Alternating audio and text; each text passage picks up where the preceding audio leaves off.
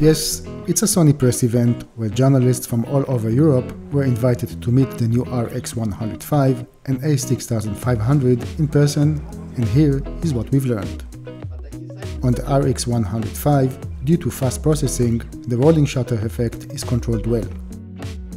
The overall video quality has improved, and there is a cool underwater case. You can shoot 24 frames per second for about 6 seconds.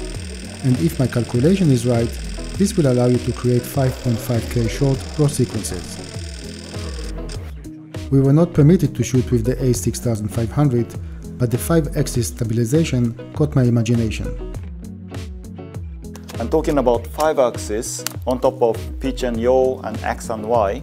The roll compensation is very effective when you are shooting a movie. Effective yes, but not less important is the ability to shoot longer 4K clips with a reduced risk of overheating. Locking your subject in autofocus mode is now possible, as well as changing focus points via the new touchscreen. Last but not least, so the menu structure of the Alpha 6500 is a new menu structure that we developed for Alpha 99 Mark II. So for the videographers, all the video related functions are in the separate tab.